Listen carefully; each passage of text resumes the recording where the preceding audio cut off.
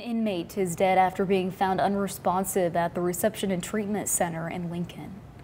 Nebraska Department of Correctional Services says 50-year-old Cock Towen was found unresponsive in his cell on Tuesday. Officials say staff members performed CPR before transporting Towen to a hospital. He was later pronounced dead. He was serving a 60-year sentence for manslaughter.